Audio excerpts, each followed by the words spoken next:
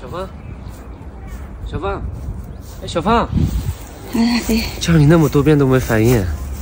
好了，小芳，不要再想那些事情了。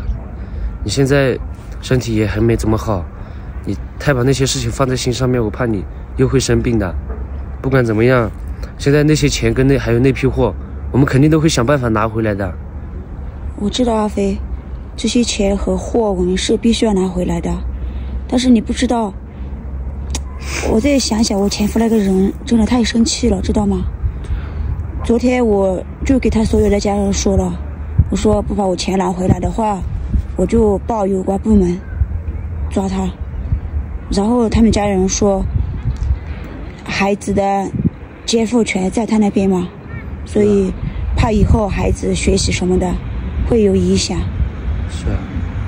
所以今天他给我打电话了，他说这个钱。他他借我的，然后他去成都那边做生意，过几天就要还给我。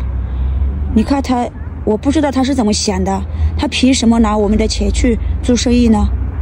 还有，你看李小姐那个人，他把我们的货也拦截了，我真的想想这两个人，我就很生气，知道吗？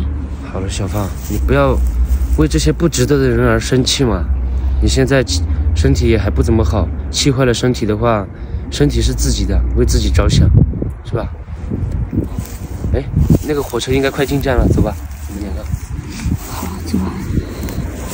走吧，小胖。走吗？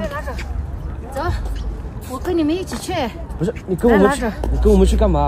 哎，快拿着。阿姨。干嘛？小芳的老公，你又不是不知道那个前夫，你觉得小芳前夫？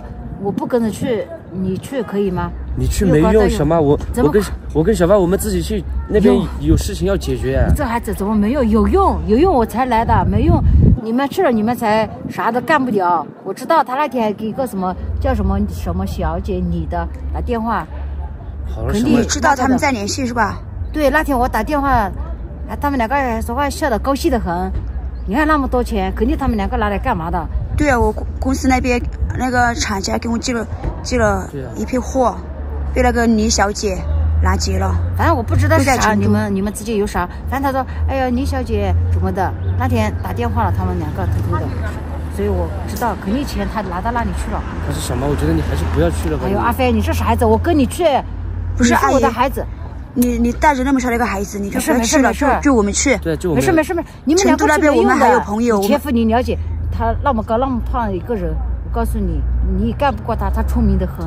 现在什么社会？我们我们又不是去打架的。我们不是打架，但是我们人多力量大嘛，人多主意多嘛，对吧？快快拿走拿走走走走走走走，赶紧拿走。阿姨，你带着孩子不方便，你不要去了吧？去去去去走走走走走，把东西拿走，走走走走走走走走走走走。走吧走吧，来把他带走吧。走走走走走，我去才好，我不去不行，你知道吗？你你们这两个真的是。不是阿姨，你那么小的一个孩子。没事没事没事，哎呀，走，我们一起解决问题呀。那么多钱，你说。曾梦想仗剑走天涯，看一看世界的繁华。年少的心中有些牵挂。如今你四海为家。曾让你心疼的姑娘，如今已悄然无踪影。爱情总让你渴望又感到烦恼，曾让你遍体鳞伤。